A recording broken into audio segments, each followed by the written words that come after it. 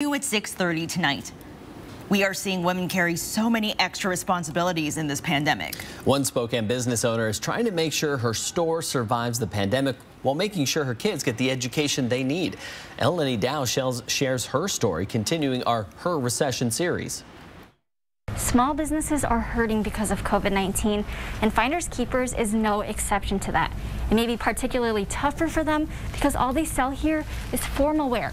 But the owner tells me she is optimistic that one day women will be able to stand in front of the mirror again and try on her clothes. Alyssa Scheidler is a mom first before small business owner. They're not able to go to school. Staying home with them was my priority. While she tried to help get her kids through online school, her other baby, her store finders keepers, started losing money. A store full of formal wear, a thousand dresses, untouched for nine months with no proms and homecomings, nothing. Easily 70% down from what we would normally. While trying to figure out how to make this place survive the pandemic, she was struggling with her kids at home.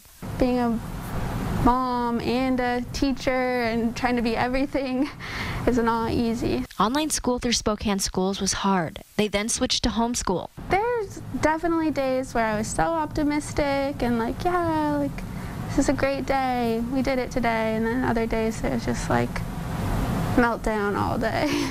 Eventually, Scheidler put them in private school, needing them back in class. I did have a lot of family support helping us pay for private school, um, but just being able to afford that when I don't really have income is was very difficult. Now her kids are back in Spokane Public Schools, getting to go to class as a kindergartner and first grader.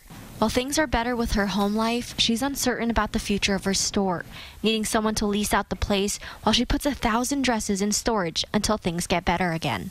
I just I have to remind myself I'm not in it alone. Like everyone has been affected somehow, and mm, hopefully there's light at the end of the tunnel. In Spokane, Elenee Dao, 4 News Now.